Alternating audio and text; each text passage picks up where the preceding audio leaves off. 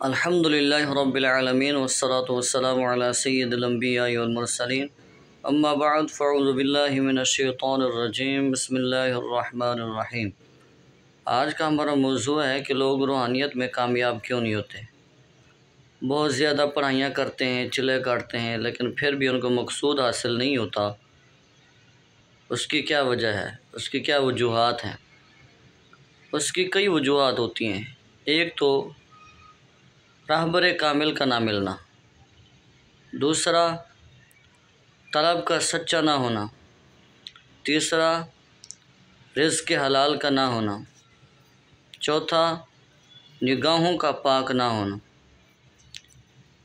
ये ऐसी वजूहत हैं जिसकी वजह से रूहानियत में कामयाबी नहीं मिलती और मकसूद हासिल नहीं होता। असल में रूहानियत का मकसद जन्नात मक्लात की तस्वीर नहीं होती। रूहानियत का मकसद अल्लाह की खुशनुदी हासिल होती। ताकि अल्लाह तबारक व ताली की खुशनुदी हासिल हो, अल्लाह का कुर्ब हासिल हो, अल्लाह की महब्बत हासिल हो। ये चीज़ें रूहानियत को हासिल करने के लिए ज़रूरी हैं कि मुर्शद कामिल हो रहबर कामिल आपको मिल जाए, आपकी निगाह पाक हो। आपका रिज़्क पाक हो। हज़रत इब्राहीम बिन आदम रदी अल्लाह तहो आपने बैतुलमुक़द्दस का इरादा किया। आप जब बैतुलमुक़द्दस में गए, वहाँ पर चटाई में अपने आप को छुपा लिया। जब रात हुई तो बंदे ने देखा कि मस्जिद में कोई नहीं है, वो मस्जिद का दरवाज़ा बंद करके चला गया। इतने में अबदालों की एक जमात आई जो उन्होंने दो नफल वहाँ पर पढ़े तैतुलमस्जिद के, और बैठ गए।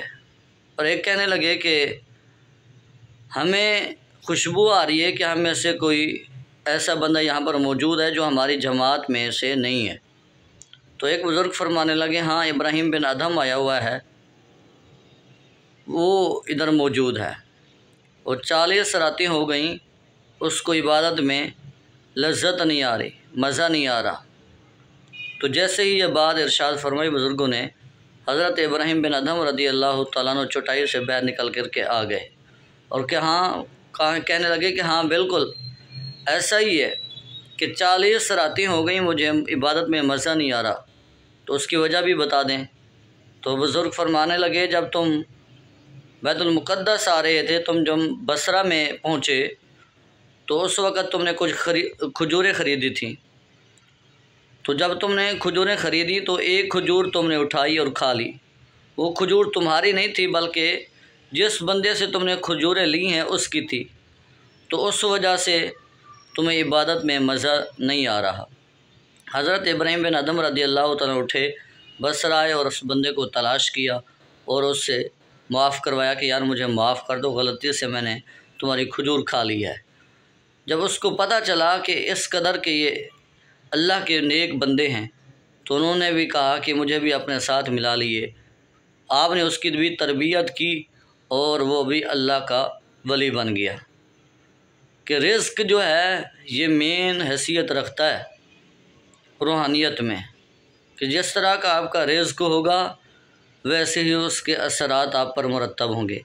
अगर रिस्क हलाल है तो फिर उस हलाल की चाशनी आपको इबादत में नज़र आएगी। अगर रिज़्क हराम है तो फिर आपको इबादत में मज़ा नहीं आएगा। जब इबादत में लज्जत नहीं होगी, मज़ा नहीं आएगा तो रूहानियत में भी कामयाबी नहीं मिलती और अल्लाह का कुर्ब भी हासिल नहीं होता।